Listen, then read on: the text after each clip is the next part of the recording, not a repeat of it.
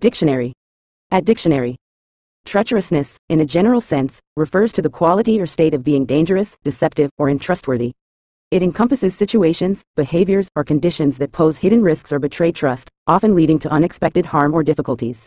For instance, a treacherous road may appear safe but has hidden hazards like black ice, while a treacherous person might pretend to be a friend but secretly harbors malicious intentions.